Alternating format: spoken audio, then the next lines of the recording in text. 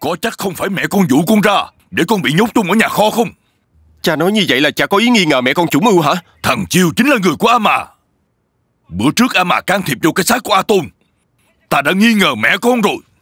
Nhưng lúc con bị nhốt ở trong nhà kho Mẹ cũng bị nhốt chung với con mà. Rồi làm sao con dám chắc chắn? Mẹ con với thằng Chiêu đó không biết nhau. Nhưng mà Người ra lệnh toàn bộ người làm tránh xa nhà lớn Rốt cuộc chính là mẹ hai mà cha Sao lúc đó thằng Chiêu không ở chung với mấy người làm? Chắc nó chờ cơ hội này lâu lắm rồi. Khôn hôn thì đừng để ta biết. Mẹ con liên quan tới chuyện này. Ta sẽ không tha đâu.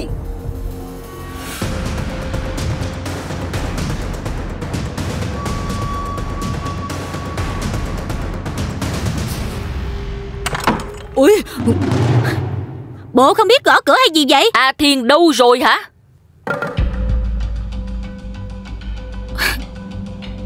Ai biết? Mà dù có biết, Cũng không nói.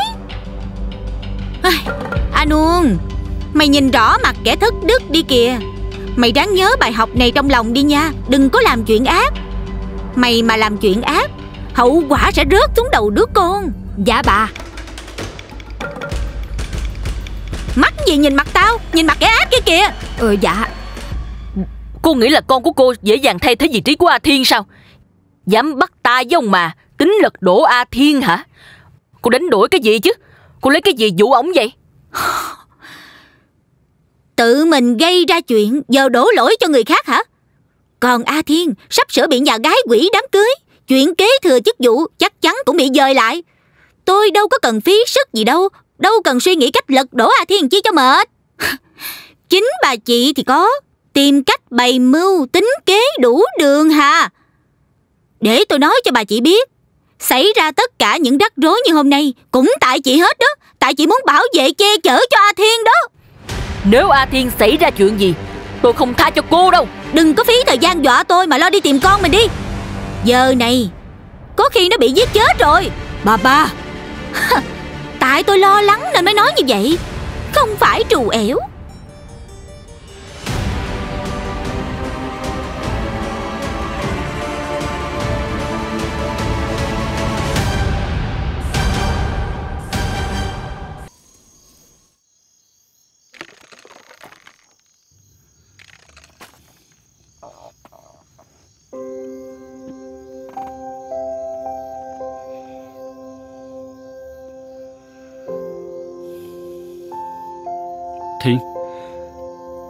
Em ra ngoài này làm gì? Không lạnh hả? Tụi mình bỏ trốn như vậy. Không biết bây giờ ở nhà mọi người ra sao nữa. Chắc đang loạn lên hết rồi. Giờ chúng ta quay về nha. Không được. Mình không về được. Mẹ nhìn thấy anh với em ngủ chung với nhau rồi. Giờ mà về Em cũng không biết anh sẽ gặp chuyện gì nữa. Em không cần phải lo chuyện đó. Anh tự lo cho mình được mà. Không ai làm được gì anh đâu. Chiêu. Anh vẫn chưa biết rõ con người của mẹ em đâu. Mẹ muốn em lên tiếp quản thay cha. Mục tiêu lớn nhất đời mẹ là em được đứng đầu thương hội đó. Với lại mẹ em còn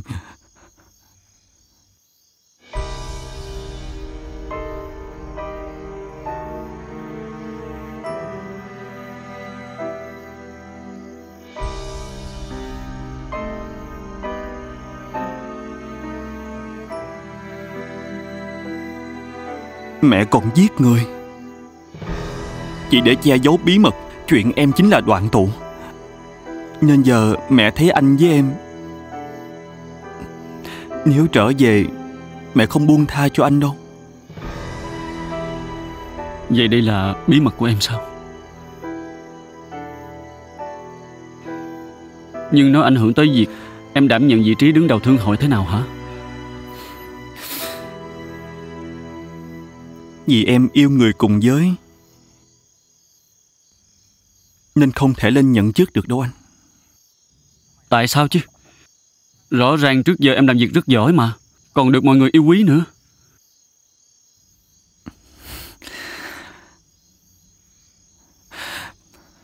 Phải, nhưng cha vẫn không thừa nhận em đâu. Lúc trước có một người trong thương hội Cũng giống như em vậy.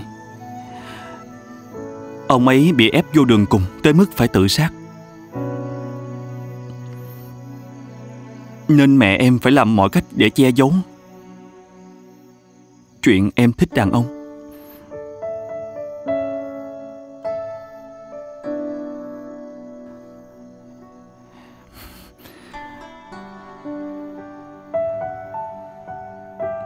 Nếu mọi người biết. Gia tộc xong sẽ tan nát vì em. Em không muốn tiếp quản thương hội đâu. Em chưa bao giờ muốn làm hết. Em chỉ muốn được là chính mình thôi.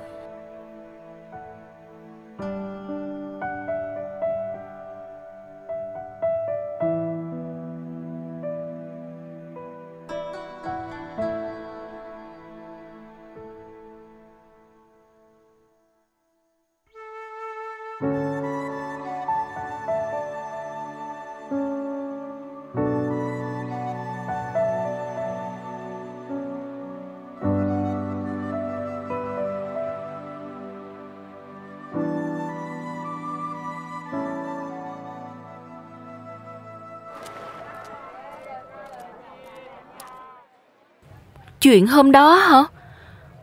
Thật tình nghĩ lại, em cũng thấy kỳ lạ lắm. Hôm đó, dì Ali cứ bắt ép em với anh Thiên phải uống cho hết chung trà. Sau đó anh Thiên thấy không được khỏe.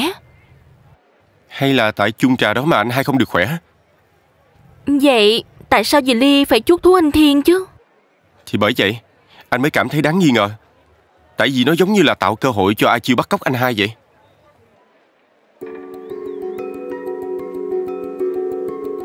Anh Giảng. Bộ A Chiêu bắt cóc anh Thiên thiệt hả? Em à A Chiêu là người của ông chủ mà đó. Rồi giờ cả hai tự dưng biến mất Thì làm sao mà anh nghĩ theo hướng khác được đây hả? Đi thôi Bin. Dạ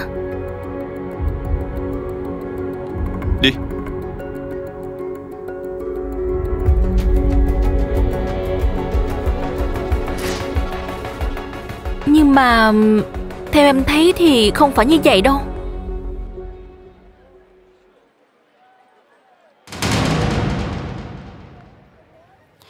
Vĩnh Biên Em cứ về trước đi Anh có công chuyện. Ờ Có chuyện gì hả anh Giảng? Em cứ về trước đi Có gì hôm sau anh sẽ kể cho em nghe.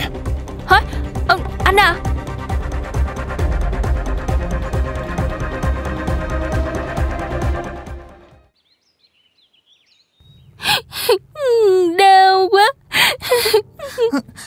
Chị mỏi. Chị thấy sao hả? Anh hai ở đâu? Cứu em với. Chị mỏi Chờ chờ em nha. Để để em đi lấy thuốc cho chị. Đau quá. Đau. Chưa có tin gì của thằng Chiêu hay sao lão gia? Con nhỏ đó sắp ngồi dậy không nổi nữa rồi. Nằm bẹp cả ngày Lãm nhảm cái gì không biết. Có khi nào nó nghiện rồi sống thuốc chết luôn hay không lão gia? Chết Chị mỏi sắp chết hả? Ông dám làm hại chị Nè. mỏi hả? Cái thằng Xấu này. xa. Xấu xa? Xấu xa? Xấu Bực xa? mình quá đi. Nè. Thằng nhãi ranh này Mày đừng có cứng đầu với tao. Bằng không thì mày chết đó. À, à, Nè. Mày à cui. Đem nhốt nó lại đi. Dạ lão gia. Đi Đồ xấu xa Đồ độc ác. Thải ra Thải ra Thải ra đồ xấu xa Độc ác. Chị mỏi Nè Mày cột nó cho chặt đó Rồi kiếm cái gì nhét vô trong miệng của nó. Đừng có để cho nó la nữa. Độc ác. Nhét vô đi. Ừ, Đúng Phải. Nhét như vậy nó mới im được. Ê Ta không giết mày là mai rồi. Mày chờ đi. Đừng không chạy trốn. Dạ thưa lão gia. Bà tranh tới tìm ông.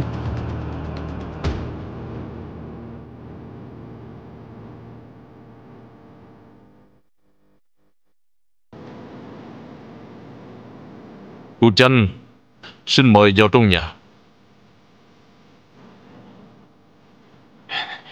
Quả nhiên là mẹ tới đây. Là mẹ của anh Giảng mà. Phải Chính là mẹ tôi đó. Ôi Vĩnh Biên. Em tới đây làm gì? Anh nói em về nhà trước mà Nguy hiểm lắm đó.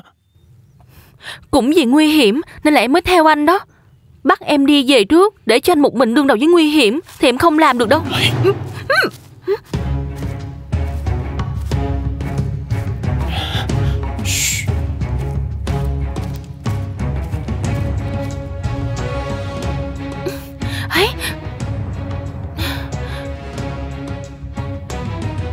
Anh Giảng có chuyện gì hả? Tại sao mình phải lén lút như vậy chứ? Mà mẹ của anh tới tìm ai vậy? Lão gia nhà tôi biết hết rồi. Thì ra A Chiêu chính là người của anh. Ai đã nói ra chuyện này? Chai siêu thống. Trai siêu thống Con đàn bà xảo quyệt này. Đúng là lẻo mép. Dám đem chuyện của tôi đi mét với lão đại. Nếu tôi mà gặp chuyện Thì cô ta đừng hòng sống.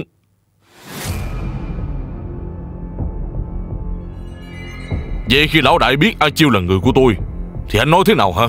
Thì sai người đi tìm tụi nó. Ổng cho rằng Chắc nó bắt cóc A Thiên rồi. Nói vậy nó không trở về đây hay sao? Không hề có. Vậy nó có báo tin gì cho anh hay không? Dạ không Dù gì đi nữa thì anh cũng phải ráng tìm cho ra tụi nó đi. Nếu không thì Làm cho nó với A Thiên biến mất vĩnh viễn luôn càng tốt.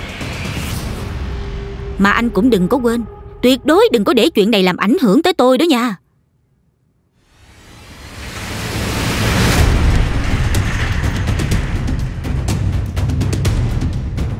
Người đó.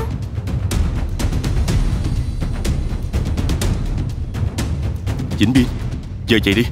Em về trước đi rồi anh sẽ kể cho em nghe sau. Dạ anh đang nghỉ em đó. Em về trước đi.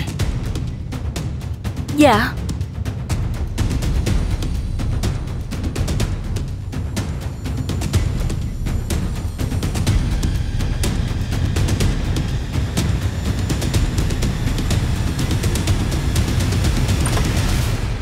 Mẹ Giảng Sao con lại tới đây hả? Không phải như con nghĩ đâu mà. Mẹ đừng có nói gì hết đó. Con nghe mẹ giải thích đi con. Không cần giải thích đâu. Mau trốn đi. Trốn? Trốn đi đâu? Cha tới. Hả?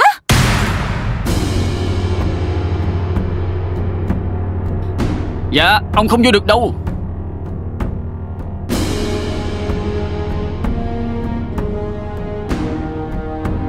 Cậu có chắc không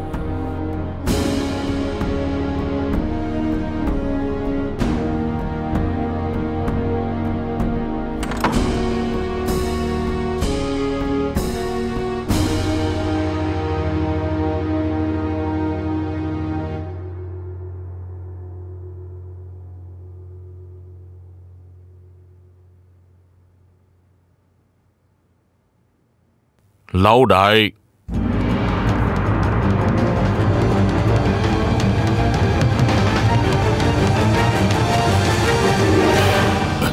Hướng này thôi bà. Đi ra cửa sau để không bị ai nhìn thấy. Giờ cứ đi thẳng là thấy cửa ra ngoài rồi bà. Còn bây giờ tôi xin phép vô trong với lão gia nha bà. Giảng à mẹ Mẹ khoan hay nói gì hết? Về nhà mẹ con mình sẽ có nhiều chuyện phải nói đó Mau về thôi bà.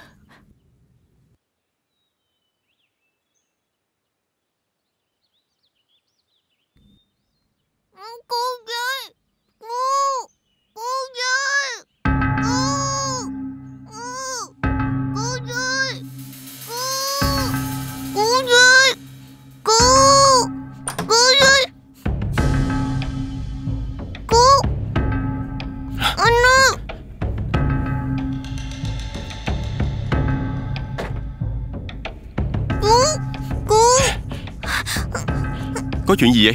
Sao em lại bị trói vậy hả? Anh ơi Cứu em với chị đi.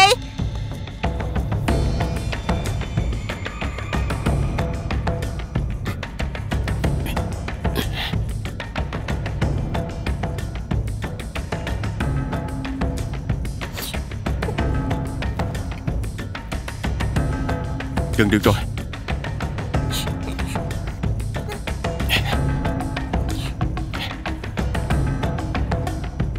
Em ơi. Nè. Anh Anh giúp tụi em ra khỏi nhà này với.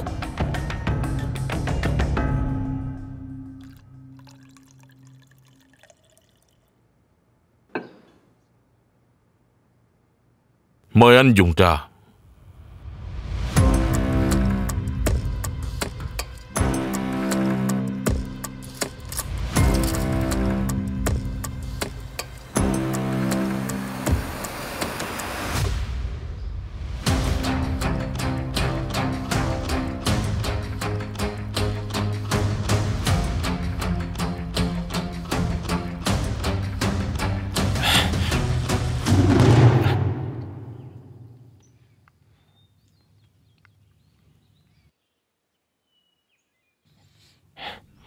đi theo anh. Dạ.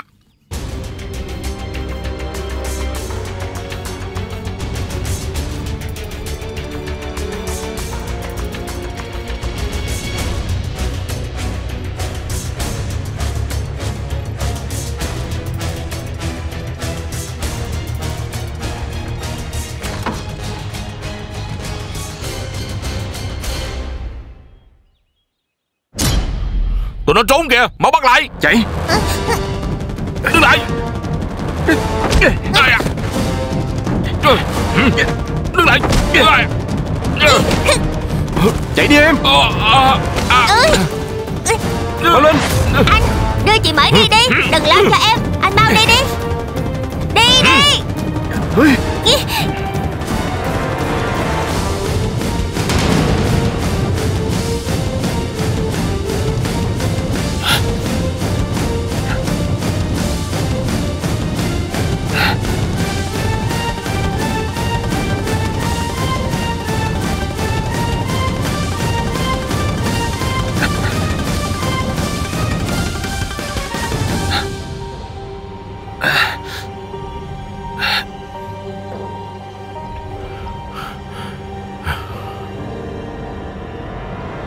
mày vô coi thử đi.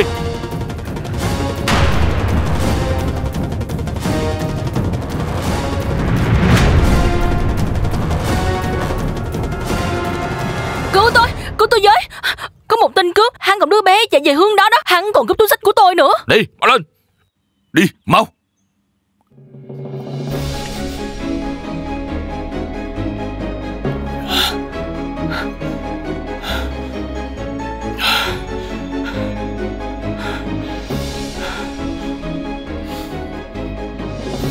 Thì tôi nói với lão đại rồi.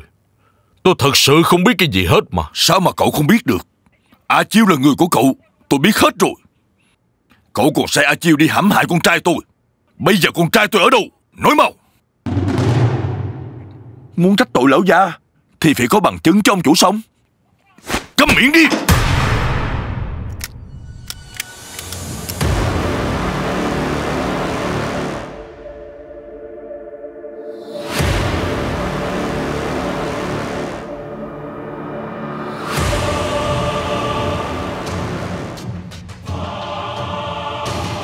Ama,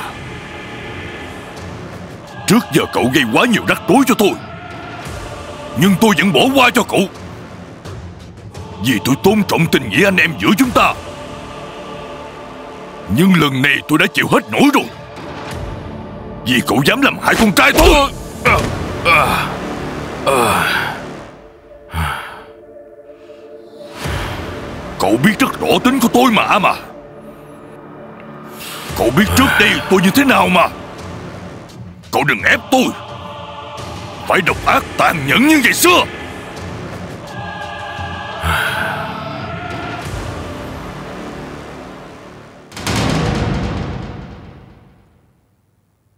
Tôi đã nói rồi. Tôi không hề biết A Thiên đang ở đâu. Vậy cậu ghi nhớ cho kỹ nếu A Thiên có xảy ra chuyện gì, Tôi sẽ không tha cho cậu.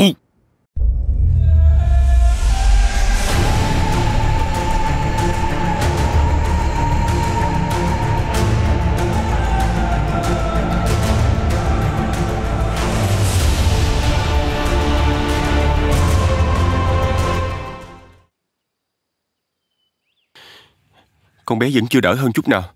Anh nghĩ chắc phải đưa đi bác sĩ gấp. Dạ anh. Mà con bé này là ai vậy anh Giảng?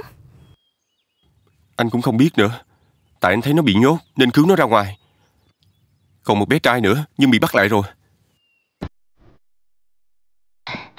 Nếu họ biết anh cứu con bé này ra ngoài Chắc chắn sẽ có chuyện lớn xảy ra đó. Anh cũng nghĩ như vậy đó. Đưa đi bác sĩ xong Mình phải tìm chỗ cho nó Mà cho nó ở đâu đây? Về nhà của em ở cũng được. Để em chăm sóc nó giùm anh nha. Cảm ơn em nhiều. Anh nhất định phải biết. Thực sự con bé này là con nhà ai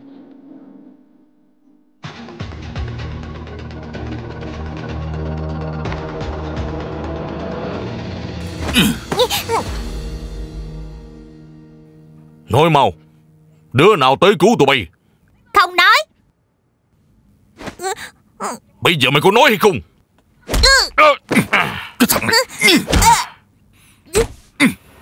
Nè. Coi chừng nó chết bây giờ. À. Chỉ ngất xỉu thôi lão già Thằng ngu này. Làm bây giờ không biết đứa nào đã tới cứu tụi nó. Không lẽ là bà tranh với con trai bà ta? Tại lúc mà dẫn bà ta ra cửa sau Có thể bà ta thấy hoặc nghe tiếng của nó. Cô ta không phải là người tốt bụng Tới mức cứu mấy đứa này ra ngoài đâu. À Còn nếu con của bà ta làm thì sao lão gia? Mẹ của nó đứng về phía của mình. Nó dạy gì mà đi kiếm chuyện với mình chứ? Tao chỉ đang sợ Sự việc xảy ra ngày hôm nay. Có thể là do lão đại bày mưu Chứ mắc mớ gì. Hôm nay anh ta tới nhà của mình. Nếu đúng là Ông chủ sông của con nhỏ đó ra thiệt. Không biết nó có nói gì với ổng không nữa. Lỡ như nó khai ra chúng ta, Thì phải tính sau đây lão gia. Rồi thằng Chiêu nữa. Nếu như nó biết em của nó biến mất, Nó không chịu để yên cho mình đâu.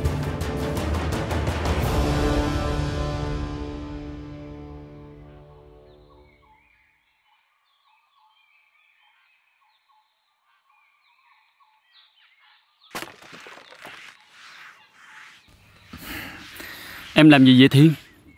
Em đang đau nhà đó anh. Không cần làm đâu Để làm cho. Nè Tưởng em không làm được chứ gì. Dù ở nhà có người làm hết rồi Nhưng mà chuyện gì em cũng biết làm hết đó. Quét nhà, lau nhà hay giặt đồ em đều làm được. Mà không chừng Em nghĩ chắc Còn làm giỏi hơn anh nữa đó.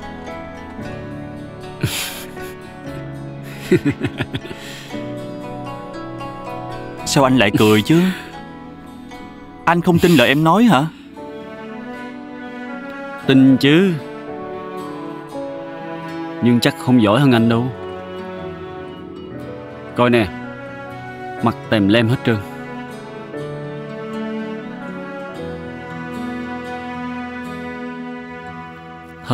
Lại ăn cơm thôi.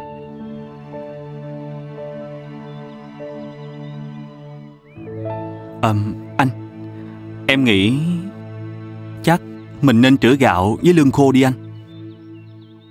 Em không muốn anh đi ra đường thường xuyên quá. Mắc công người nhà em tìm thấy anh nữa. Được chứ. Vậy bây giờ Để em đi rửa tay cái đã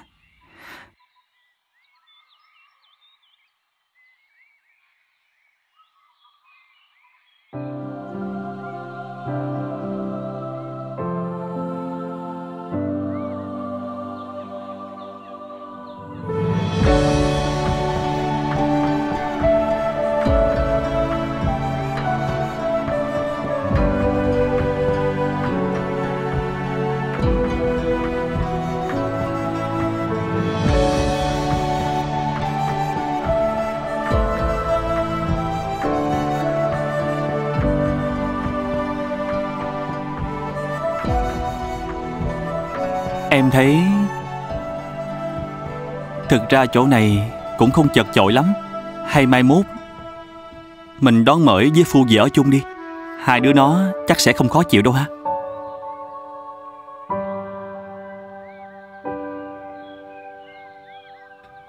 Anh nghĩ chắc mở với Phu cũng thích tới ở đây lắm á. Thiên, Nếu em thật sự không muốn về nhà trong lúc này thì tạm thời mình cứ ở đây đi nha. Anh sẽ đi bán kẹo đường như hồi trước. Còn không thì kiếm gì bán. Chừng nào kiếm được khá khá tiền rồi, Thì mình hãy chuyển đi chỗ khác. Tới một nơi không ai biết hai đứa mình. Em cảm ơn anh nha. Vì cho phép em được bước vô cuộc đời của anh. Em rất hạnh phúc Khi được quen anh. Được yêu anh nữa. Em chưa bao giờ nghĩ tới Là cuộc đời này Lại có thể gặp được người tốt như anh đâu.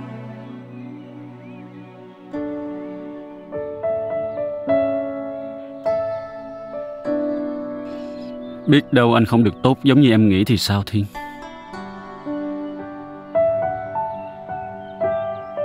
Nếu như ngày nào đó Anh làm gì sai trái đối với em Em tha thứ cho anh được không Thiên? Anh hỏi em câu đó, Có nghĩa là sao vậy hả Chiêu?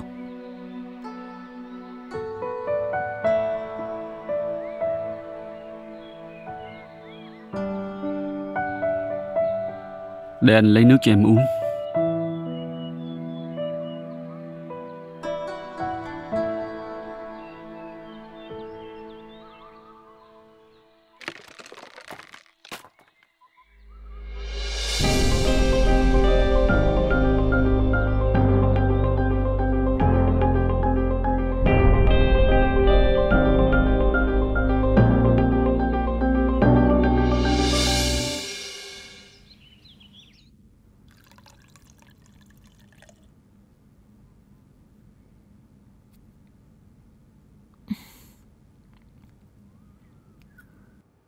Hôm nay ông đi gặp ông chủ mà Mọi chuyện sao rồi hả?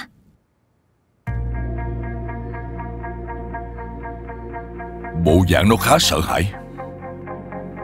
Nên tôi nghĩ chắc là nó không biết. Thằng Thiên đang ở đâu? Sao lão già suy đoán như vậy hả? Hạng người như A Mà.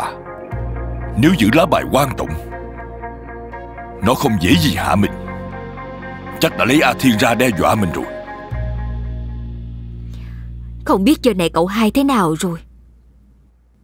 Mình sai người đi khắp nơi tìm, Vẫn chưa có tin tức gì sao ông? Còn bà hai? Không biết bà hai ra sao rồi. Cậu hai tự dưng bị mất tích, Chắc sốt ruột lắm. Mà chuyện này, Càng nghĩ càng thấy lạ. Nếu chuyện A Thiên bị mất tích là do A Chiêu gây ra, Tại sao Ali lại sai tất cả người làm. Đi ra sau nhà nhổ cỏ. Như dọn sẵn đường. Nếu A Chanh làm thì còn hiểu được. Tại vì lần trước Có vẻ như A Chanh đã thông đồng với A Mạ Kêu A Mạ tới đám tang Kiểm tra xác A Tôn Mấy chuyện này Coi bộ quá phức tạp rồi đó lão gia. Vậy bây giờ lão gia định làm như thế nào đây? Tôi nhất định phải biết Gốc rễ của sự việc lần này. Tìm bằng được do ai gây ra.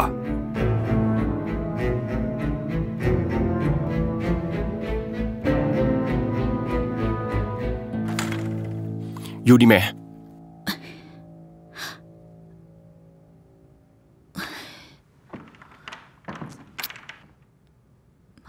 Con tính làm gì vậy hả? Con kêu mẹ tới phòng của con làm gì? Vậy mẹ có muốn con nói với sảnh không? Bộ mẹ không sợ người ta nghe thấy hả con hiểu lầm mẹ rồi đó, Giảng à. Hôm nay mẹ chỉ đi mua ít đồ thôi. Mẹ thấy nhà A Mà gần đó, Cho nên sẵn tiện mẹ ghé thăm ông ta thôi mà. Thôi, mẹ đừng có ngụy biện gì hết. Mẹ có biết mẹ đang làm gì không hả? Nếu hôm nay con không báo tin cho mẹ kịp thời Thì mẹ có biết chuyện gì xảy ra hay không? Mẹ tuyệt đối không được tới nhà của ông nữa. Còn bây giờ mẹ phải kể hết cho con nghe. Trong thời gian qua, mẹ với ông chủ mà đã gây ra những chuyện gì rồi? Còn chuyện của A Chiêu? Mẹ đã biết ngay từ đầu rồi có đúng không? Vậy A Chiêu đã dẫn anh hai đi đâu rồi? Nè Mẹ không biết Mẹ không biết cái gì hết trơn Nói dối Nếu mẹ không chịu nói sự thật cho con biết Giờ con sẽ đi kể hết với cha luôn. Nè khoan khoan đã giảng. Đừng có nói cho ổng biết chứ Không là mẹ chết chắc đó con. Vậy thì mẹ kể hết đi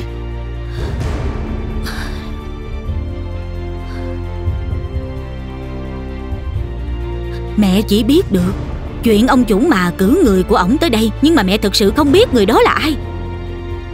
Cho tới hôm nay mẹ mới biết được, Thì ra chính là thằng Chiêu.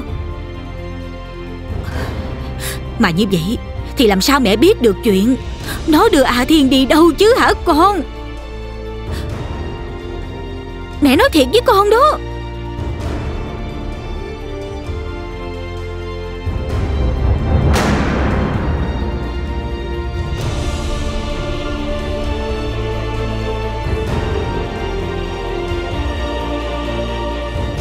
Chiêu là người của ông chủ mà.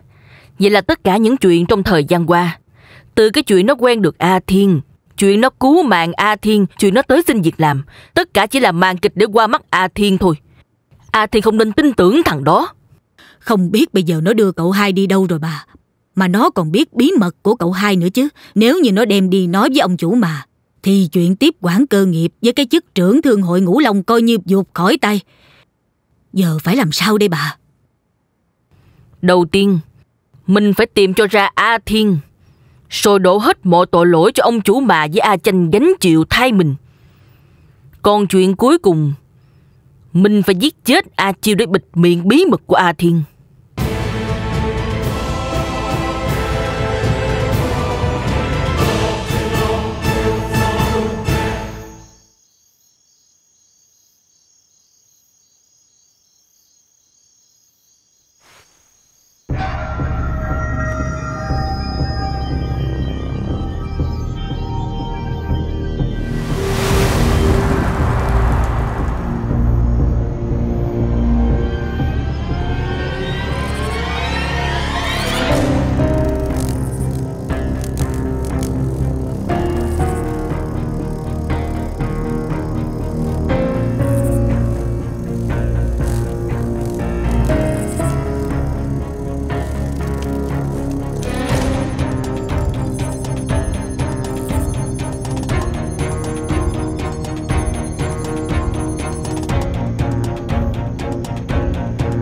Con côn trùng này.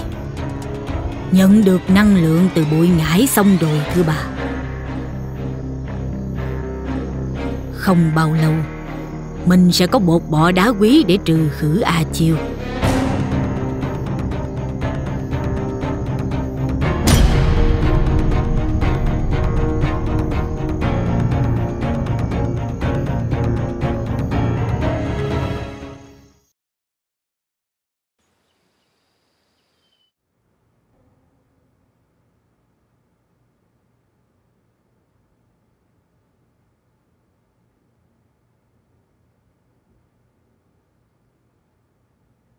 Con bé sao rồi bác sĩ?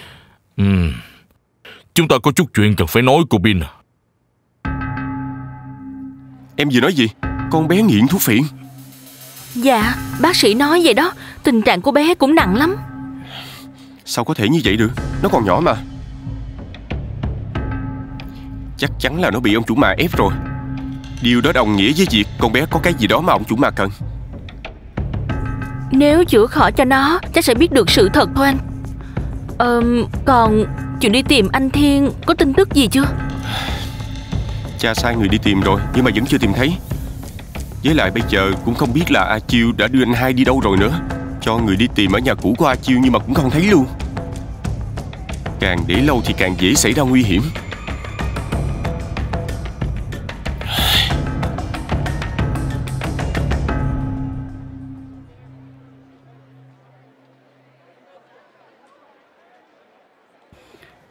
Cô ơi, cho hai phần hủ tiếu. À chờ chút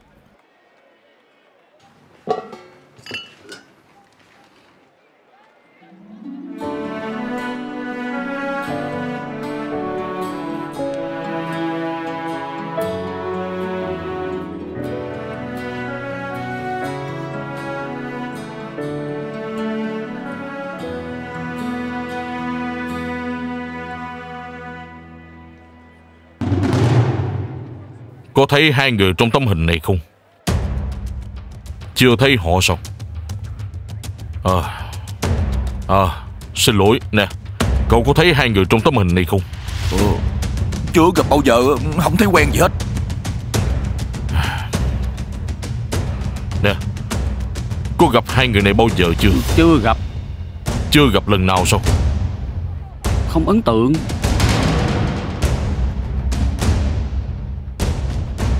mau lên giùm con Con đang gấp.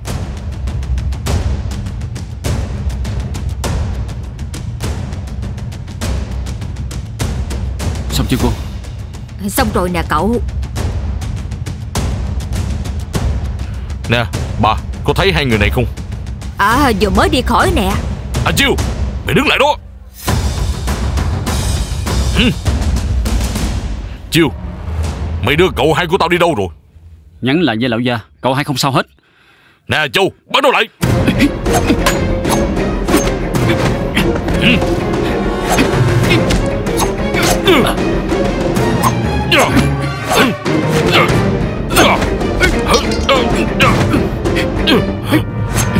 Không được qua đây. Nếu không A Bào sẽ chết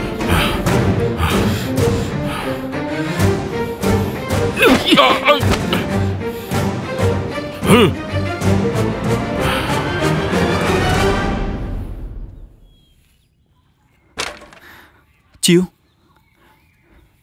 Chiêu? Anh bị sao vậy? Ai làm anh bị thương? Người của cha em. Ông ấy sai người đi truy bắt anh. Hiện giờ họ đang truy lùng mình khắp nơi.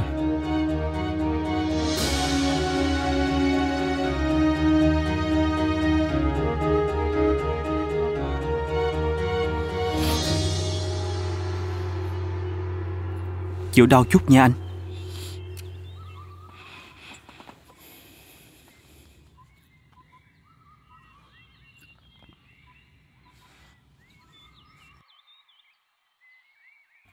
Cha em sai người đi truy lùng kiểu này, Tụi mình tiêu chắc luôn rồi.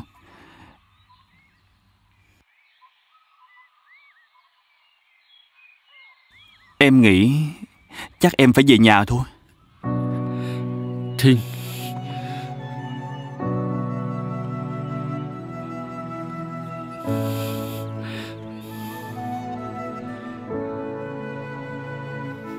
Đi theo anh cực khổ lắm đúng không em? Anh xin lỗi em nhiều, Vì không chăm sóc tốt cho em. Anh cũng hiểu được tại vì em chưa bao giờ chịu cực khổ như vậy. Em vất vả lắm đúng không Thiên? Nhưng em đừng về được không? Anh hứa là anh sẽ cố gắng chăm sóc cho em thật là tốt. Anh sẽ cố gắng nhiều hơn nữa Thiên à. Em đừng bỏ rơi anh mà Thiên. Không phải như vậy đâu anh à. Em muốn về nhà. Tại vì em lo cho anh thôi. Em sợ anh lại gặp nguy hiểm nữa. Hôm nay cha em sai người truy bắt anh. Nên em sợ mai mốt. Có thể cha em sẽ sai người tới giết anh đó.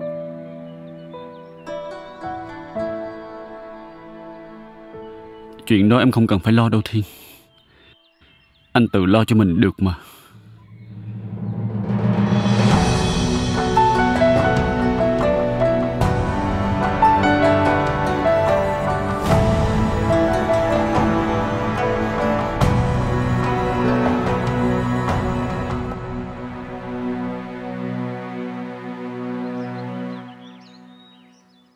Thấy A Chiêu rồi sao? Vậy A Thiên đâu? Dạ không gặp được Nhưng nó kêu nhắn với lão gia là cậu hai vẫn bình an. Tôi có quay lại xe hủ tiếu hỏi thăm. Thì họ nói là nó mua hai phần lượng Nếu vậy chắc A Thiên vẫn bình an vô sự. Chắc lúc đó A Chiêu đi mua đồ ăn về cho A Thiên thôi. Nó đang làm cái gì vậy chứ? Bắt cóc được A Thiên rồi. Nhưng sao không giao nộp cho A mà? Nó giam giữ A Thiên làm cái gì chứ Chắc nó đang bày mưu tính kế rồi đó ông mà. Cho nên giữ A Thiên lại để thương lượng.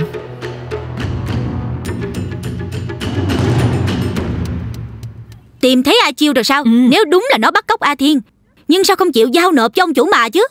Bà hai đang nghi ngờ Chắc nó giữ lại để thương lượng đó bà. Tôi nghĩ chắc nó muốn đòi tiền thôi.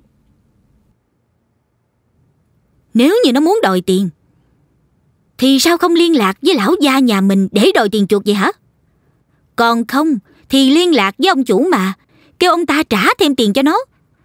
Đằng này nó lại dẫn A Thiên đi trốn ở nơi kín đáo. Dạ phải đó bà. Khó hiểu thiệt. Nếu như đàn ông với đàn bà Thì tôi đã đoán là cùng nhau bỏ trốn rồi. Mày nói chuyện tào lao không à Bây giờ, Mày theo dõi bà hai cho thiệt kỹ. Nếu như có tin tức gì, Mày phải mau báo cho tao biết. Dạ bà.